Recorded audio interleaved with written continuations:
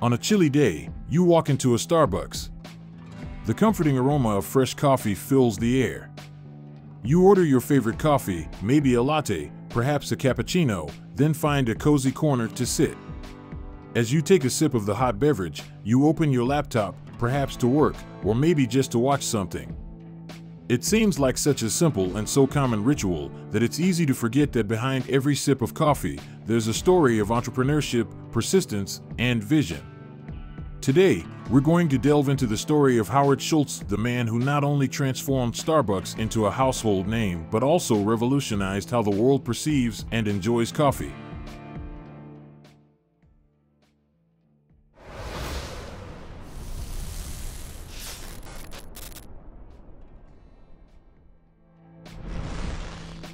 Howard Schultz was born in 1953 in Brooklyn, New York, into a working class family. His father was a truck driver and his mother was a housewife, and they lived in a housing complex for low income families. Despite hardships, Schultz excelled in school and was particularly talented in sports. He played soccer, baseball, and mainly basketball, a sport he had a true passion for.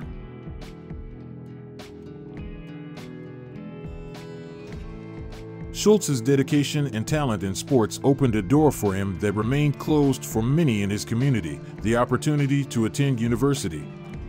He won an athletic scholarship and was the first in his family to enter higher education, studying communication at Northern Michigan University.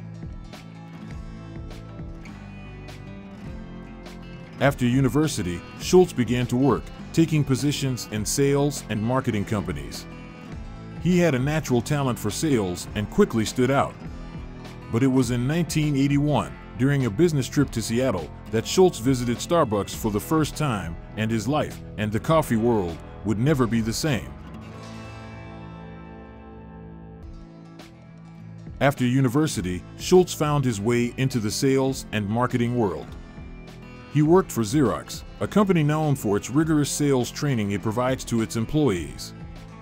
There, Schultz learned the fundamentals of sales, acquiring skills that would later be crucial to his success.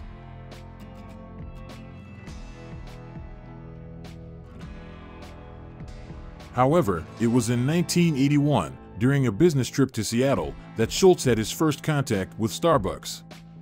At the time, it was a small local company selling high quality coffee beans and equipment to make coffee at home. Schultz was impressed by the owner's passion for coffee and the quality of the products they sold. He was also intrigued by the idea that people might want to make high quality coffee at home instead of settling for the instant coffee that was most commonly consumed at the time.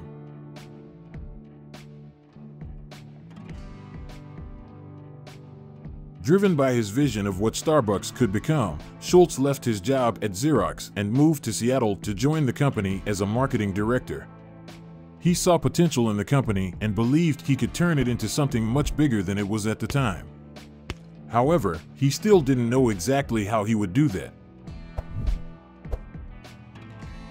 During his early years, Schultz dedicated himself to learning everything he could about coffee.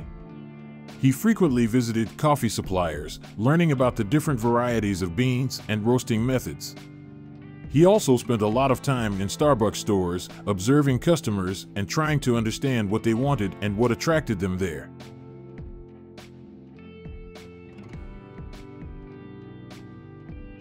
It was during this period that Schultz began to realize that Starbucks could be more than a coffee store.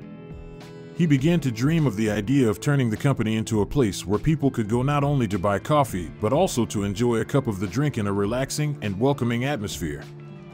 However, he still didn't know how he could turn this vision into reality.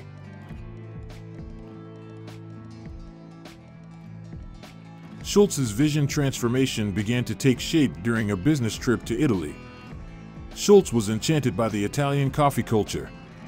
In the squares and streets of cities like Milan and Verona, he saw how coffee shops were a vital center of Italian social life.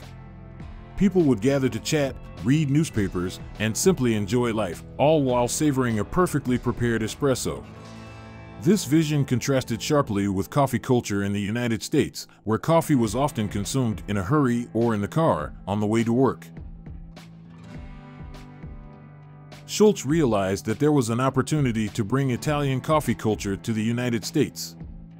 He envisioned a chain of coffee shops where people could go not just to buy coffee, but also to enjoy a cup of coffee in a cozy and relaxing environment. He wanted coffee shops to become the third place, a place outside of home and work where people could gather and relax.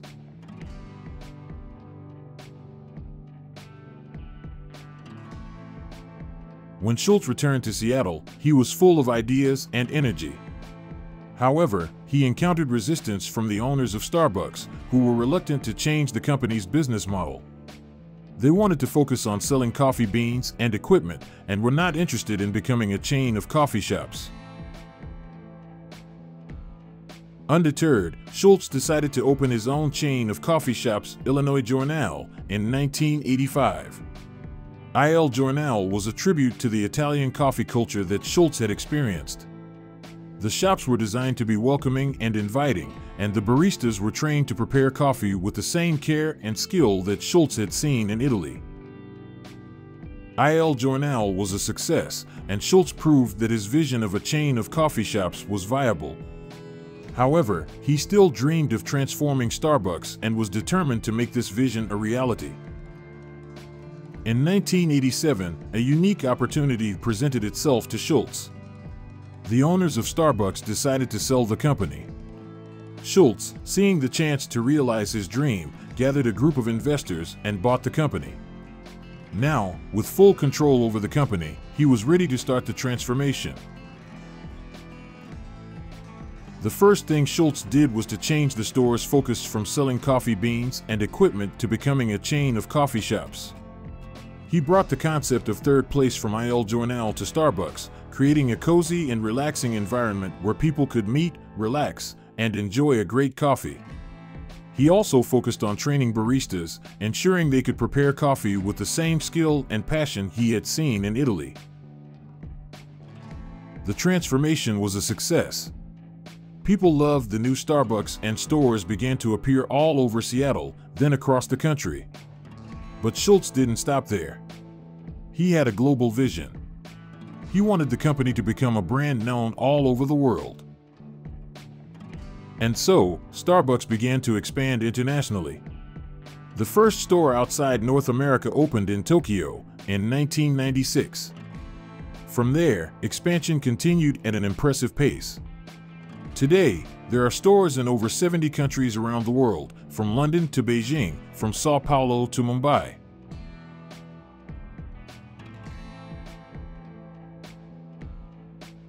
But for Schultz, the success of Starbucks was not just about numbers or profits. It was about creating an experience, a place where people could go to escape the stress of daily life, to meet friends, or simply to enjoy a moment of tranquility with a cup of coffee. And in this aspect, he certainly succeeded. In addition to his impact on the world of coffee, Schultz also left a remarkable legacy of corporate social responsibility. From the start, he strived to make Starbucks a company that cared not only for its customers but also its employees.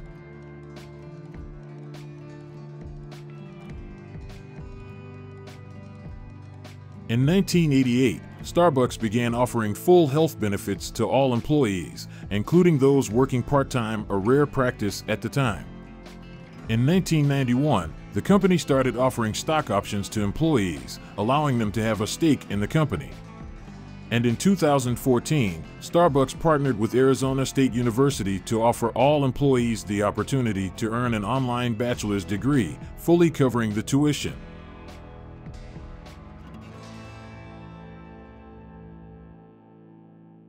Schultz also led Starbucks in a series of initiatives to give back to the community and promote sustainability. The company has a long history of working with coffee farmers to promote sustainable and fair farming practices. They also initiated programs to donate unsold food to local food banks and to hire refugees and young people seeking opportunities.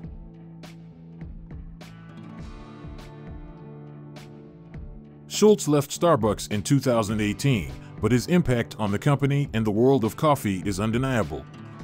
He transformed Starbucks into a global phenomenon, but perhaps more importantly, he showed that a company can succeed while also taking care of its employees and the community. So the next time you step into a Starbucks and order your favorite coffee, remember the story of Howard Schultz. Remember the vision, passion, and persistence that made the experience you are about to enjoy possible. And who knows, maybe you'll be inspired to start your own journey. The story of Howard Schultz is an inspiration to us all. It reminds us that with passion, vision, and determination, we can transform even the simplest ideas into something extraordinary. Every sip of coffee we take at Starbucks is a testament to Schultz's dream, his courage to challenge the status quo, and his desire to create a unique experience for all of us. And now we want to hear from you. Which part of Schultz's story inspired you the most? How can this story influence your own journey? Share your thoughts in the comments below.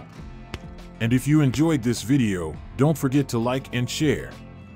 If you want more inspiring stories like this, don't forget to subscribe to our channel. Thank you for watching and see you next time.